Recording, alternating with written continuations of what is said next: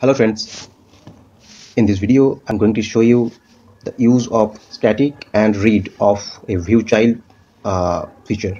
So we have the view child feature in Angular uh, 8, 9 and the other versions also. But uh, in other videos in uh, we have seen that how to use view child. But we uh, in this video I'm going to show you how to use the property static and the read that are from the view child. So as you can see in my screen what I have currently is a uh, calendar. So here this is only showing the day and the year month day and year. And here also I have a message that is uh, that is a uh, that is a kind of greeting message which I have in my page uh, as an array of multiple messages. And it will randomly show one at a time. After uh, if I refresh this page it will go and uh, come new message as you can see. Here also I have a message that that saying hi name. So there we have a variable in the component and there is the name I've given the value for the variable. So if I show you the home here if I show you the home component let me show you how we are using this. So this is the home component and here I have called the calendar date component. And what I have in the calendar date component it's simply as I told uh, the hi name the month date and year and the greeting message. Uh, what we have in the greeting message that's a small array of multiple uh, one liner messages to greet. Okay, and this is the function get message where uh, this has been called in the on init and using this I'm setting the message randomly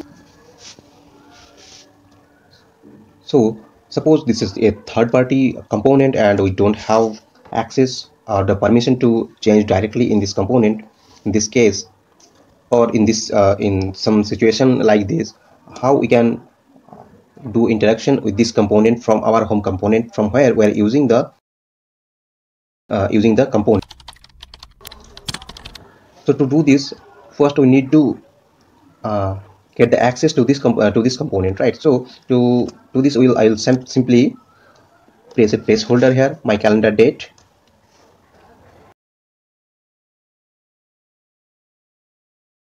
And here what i'll do i'll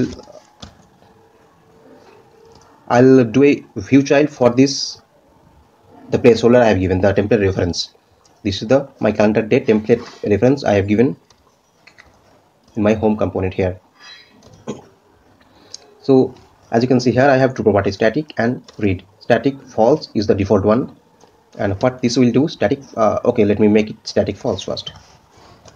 Uh, this okay and here we are saying that we want to read this as an element. So uh, as a DOM element. And as you know we will be getting as native element in, in angular right? So uh, using this i just get the access to this uh, to this component as one element reference. Now as you know we have once we have the control and we have the hook ng uh, uh, after view init we can do any kind of modification here. Say we want to change the color of the greeting message right? So here we have the greeting message this one. We have the class greeting message. Now we want to change the color background color and padding of that message. So let me save it and it should refresh automatically. So as you can see the padding has been applied here and the color background color has also been changed. Now this is pretty simple. Now see I want to change the name property here. In the calendar component I have the name property right? So you can see hello Robin.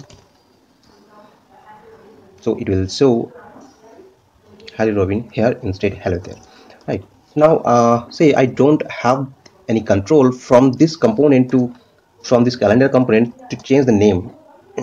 So how can I do this? So uh, if you want to, to change this in the home page I can try to do this right? So so uh, as of now it's uh, it's element right? So uh, using DOM element or the native element I'll not be able to access any any um, variable of this component so I what I have to do I have to first import the component uh, here. This is the same component which is responsible to show the calendar. And again I'll do the view child to the same component but this time it will not be element reference. This will be the component reference. The same component right? Now I'll try to but will try to make change the username property. Say I want to make it to uh, Sachin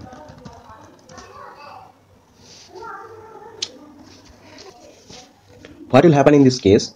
As you know we cannot change it uh, directly once it's loaded in the view. So we will get an error message that expression has changed after it has been checked. Right. So to resolve this what we can do? Simply uh, we have obviously uh, uh, we have the we have the feature to do this using the static property. Now it's not static. And okay before that also I'd like to show you that in on init I'm not getting any access to the component. So if I try to log it here and also in view in both the cases let's see. In I'll mention it view and here here you can see in view I'm getting the component here. But in the in in on init ng on init it's undefined now let me try to make it as true. Now see the magic.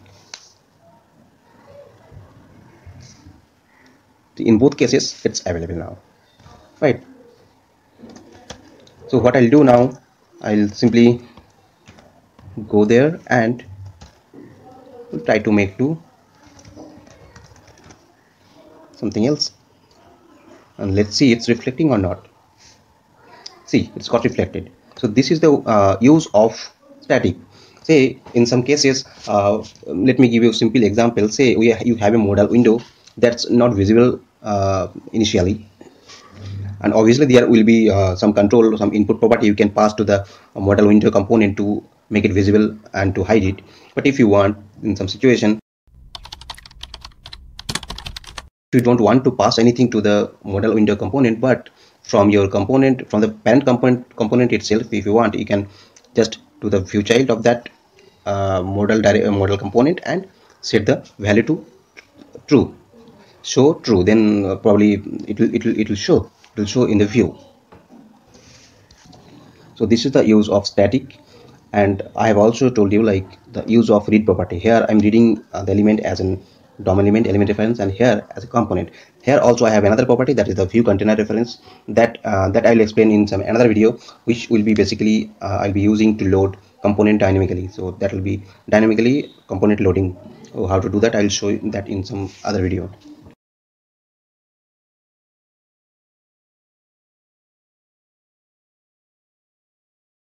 Okay now uh, another uh, let's let's take another use case. Here say I want to as you know if I refresh this page this message will be changed every time. In every refresh it will randomly pick one and it will be placed here. Now if I want to uh, if I want that this message will be changed in every one seconds automatically how we can do this? So since I have the access to the component itself now I can also have the access to the methods of that component. So I can obviously do a set interval. And every one second I can call the function which is responsible for changing the message so get message is the function here. This is setting the message randomly. Now if I go to the page you can see it's automatically changing the message.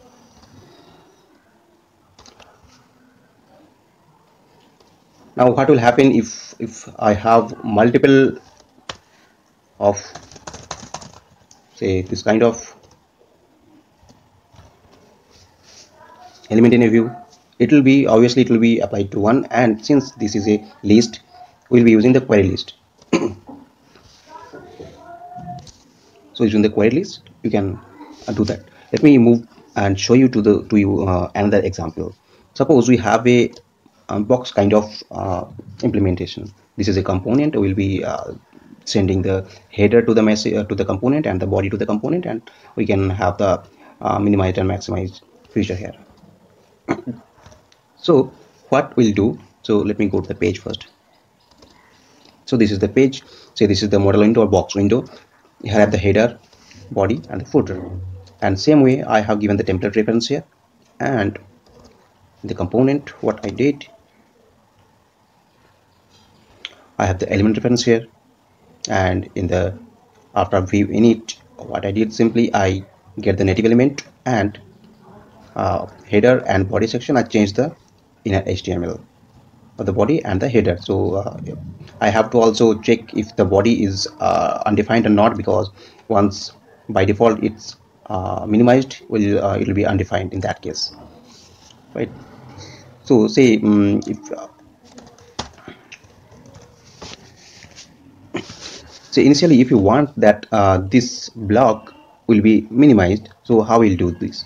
So let me go to the component first um, see box component is this one and what I have is minimized is true by default. Let's make let me make it false. Now the window will be opened by default. Now uh, some situation came that uh, the requirement came that you have to uh, initially make that window minimized. The same way I did on the previous uh, previous page the home page. So what I did I simply took the view child for that component and read it as component. And same way I change the static from false which is default one to true so that I can get access in on init function. So here I made this is minimized as false. Now it will be as true. So if I change it it will be minimized by default. Right we're saying is minimized as true so it will be minimized by default. And uh, obviously we can change the inner HTML of these two